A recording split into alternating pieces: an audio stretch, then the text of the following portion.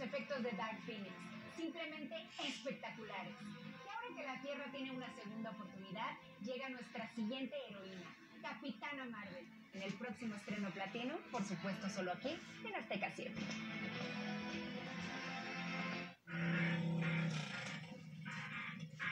El grunge te sienta bien. Fue un día difícil, agente Fury. De locura.